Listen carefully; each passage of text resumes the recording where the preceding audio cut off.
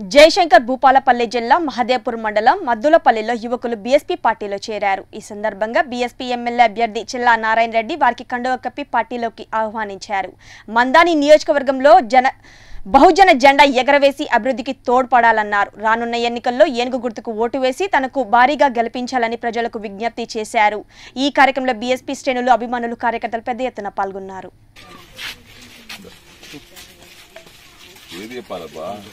సంతోష్.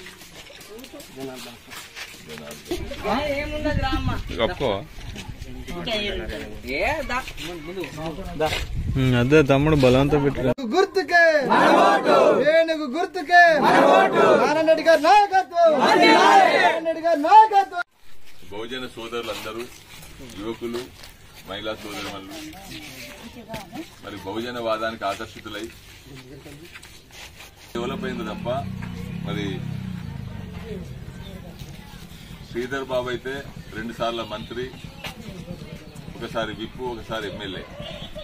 ఐదు సార్లు ఆయన ప్రాతినిధ్యం వహిస్తూ చేతుల చేసే అవకాశం ఉన్న చేయనటువంటి దౌర్భాగ్యం లక్షలు ఎంపీటీసీకి మూడు లక్షలు ఎంపీపీకి పది లక్షలు ఇట్లా జడ్పీటీసీకి పదిహేను లక్షలు.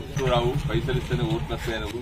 మరి ఆయన ఎస్పీగా ఉండి అడిషనల్ డీజీపీ స్థాయికి వచ్చి డీజీపీ అయ్యేటువంటి అవకాశం ఉన్నా గానీ ఆరు సంవత్సరాల సర్వీస్ వదులుకొని ఈనాడు మరి ప్రజాసేవ చేయాలి నా నా బహుజన బిడ్డలకు న్యాయం చేయాలనే ఉద్దేశం వచ్చి అలాగే దానిలో భాగంగా నేను